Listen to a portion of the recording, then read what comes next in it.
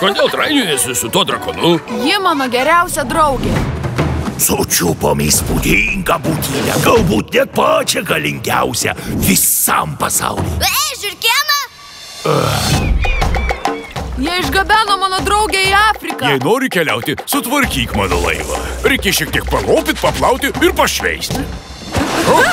Mažytė panda. Audra kyla. Štai jūsų gėrimas, kapitonė. Šiltas ir... Šlapias. Leisis į kelionę, Čia Afrika? kad išgelbėtų savo draugę. Afrika šiaip faina videlė, bet čia yra daug bičių, kurie valgo kitus bičius. Nes didžiausias gyvenimo nuotykis yra Mano vardas Pang ir aš ieškau savo draugės. draugystė.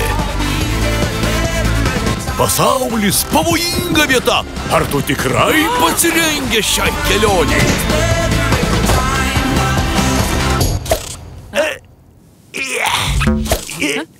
Ja. Tikiuosi, gausiu kokį prizą.